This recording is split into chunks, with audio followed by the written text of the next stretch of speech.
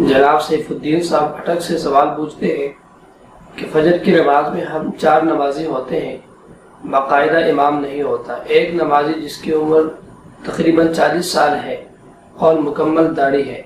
हाफिज कुरान नहीं, जबकि दूसरा नमाजी हाफिज कुरान है और उसकी उम्र चौदह साल है। पैंट और हाफ़ बाजू शर्ट पहनता है। इनमें से किसकी इब्तदा में नमाज़ पढ़ना बेहतर है? कुरान और हदीस की रोशनी में रहनमाई फरमाए।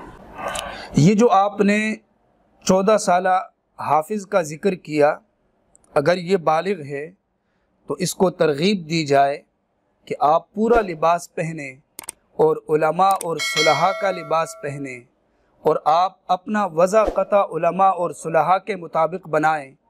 अगर वो इस पे राज़ी है, ऐसा करता है तो ऐसी सूरत में उसी हाफिज़ की इमामत बेहतर है और अवला है।